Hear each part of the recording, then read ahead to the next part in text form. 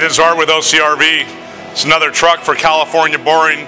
He brings us all his vehicles, color changes everything to Viper Red. So if you've got any truck repairs, paint, body, collision repair, we're here to help.